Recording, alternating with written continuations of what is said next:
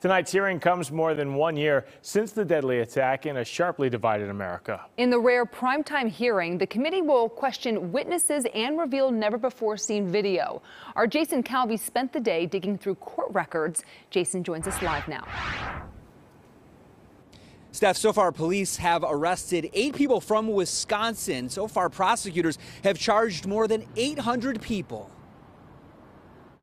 Police arrested eight Wisconsinites for joining the U.S. Capitol riot. In May, police arrested Conlin Ware of Plover. The FBI says that's him. They say records show his phone was inside the Capitol during the riot. In March, police arrested Riley Kasper of Pulaski. The FBI complaint uses this video to claim Kasper assaulted police with what appears to be pepper spray. They accuse him of sending this message I pepper sprayed three cops so bad they got undressed and went home. The message goes on I basically organized my own little militia and we expletive took over Congress. He says he's not guilty. Michael Fitzgerald of Janesville also pled not guilty. The FBI says he was near the front of the line of rioters who pushed past police. Five Wisconsinites agreed to plea deals. For example, a charge like violent entry goes away. Instead, they get parading, demonstrating, or picketing in a Capitol building. Joshua Munn is awaiting sentencing. Abram Markofski in the Wisconsin National Guard at the time got some fines and two years probation.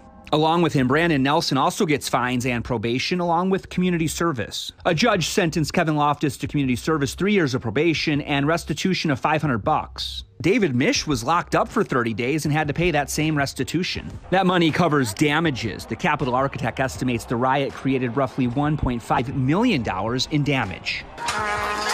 The Capitol chaos on January 6, 2021, as Congress was meeting to certify the winner of the 2020 election, Joe Biden. So, this commission has interviewed some 1,000 witnesses, including the former chairman of the Wisconsin Republican Party, Andrew Hitt. He was part of a group who gathered at the Wisconsin Capitol in December of 2020 and then sent official documents to the federal government attesting falsely that Donald Trump had won the state of Wisconsin, even though Joe Biden had indeed won it. Now, Republicans had argued that they needed to send that document to the federal government in case they won future lawsuits for the former president. Reporting in Milwaukee, Jason Calvi, Fox 6 News. Lots to unpack there, Jason. Thank you.